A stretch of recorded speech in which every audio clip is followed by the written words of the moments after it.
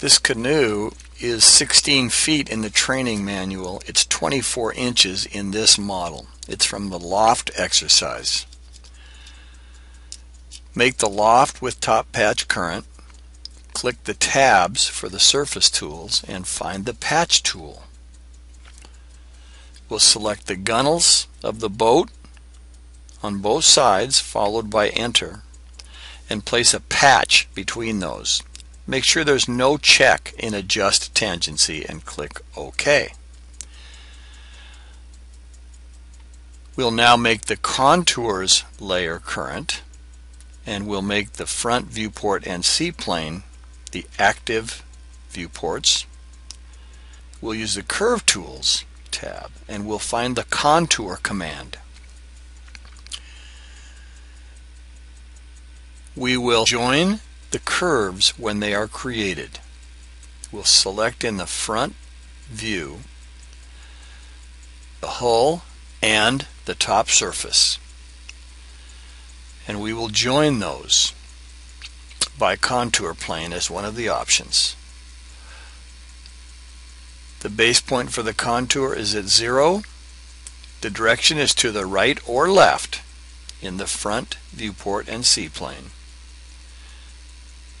and the distance will be one and a quarter. And you notice that I typed the fraction.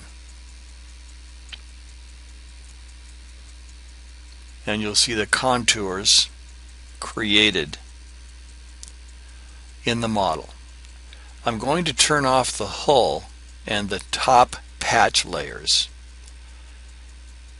And I'm going to make the project and remap layer current.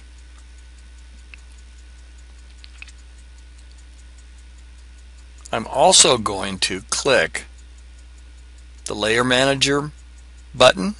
I'm going to right click on the project and remap layers and I'm going to copy the contours to that layer. So you'll see me now turn off the contours and make the project and remap contours layer the current layer. In the right viewport and C-plane, I'm going to select the contours. Two operations are going to occur. One, the transform menu, I will project those curves to the right construction plane.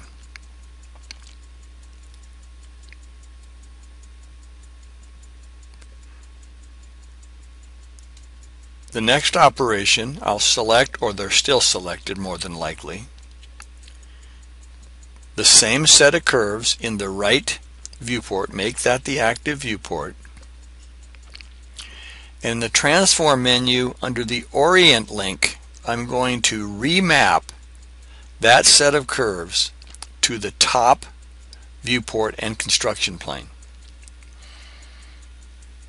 The reason for this is this is the C-plane that your laser engravers, CNC machines, etc. reside.